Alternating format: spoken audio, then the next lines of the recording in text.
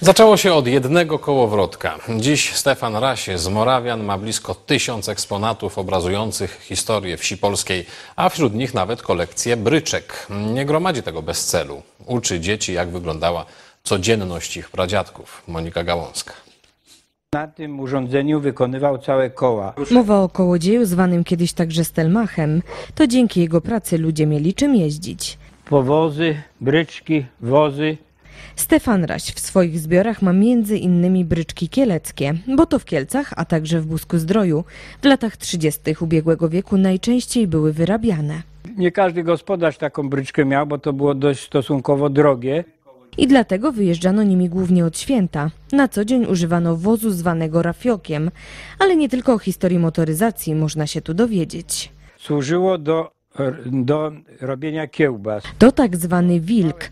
Reprezentantów małego AGD w skansenie jest znacznie więcej.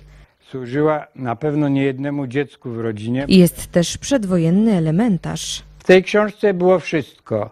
Język polski, historia, religia, yy, ogród warzywny. O wszystkich eksponatach nie sposób opowiedzieć. W sumie jest ich blisko tysiąc. Historia skansenu sięga lat 90.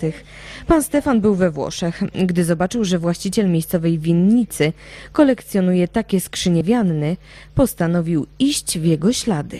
Pomyślałem, no, jak taki milioner może zbierać kufry takie stare, proste, dlaczego nie ja?